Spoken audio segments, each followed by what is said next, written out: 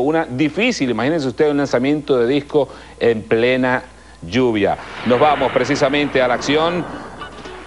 Mientras vemos el segundo intento de Junior Lastre de Cuba. Este lanzamiento antes que comenzara a llover fuerte fue bueno para la quinta posición, 54 metros con 80. El cuarto intento de Germán Lauro de Argentina. 56-08.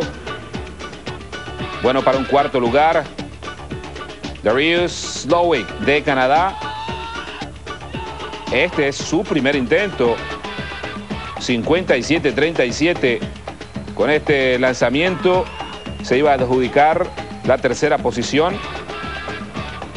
Adam Kuehl de los Estados Unidos en su tercer eh, lanzamiento consigue 57-50. Se ubicaba en la segunda posición. Y Michael Robertson, también de los Estados Unidos, este era en su primer intento, consiguió 59-24.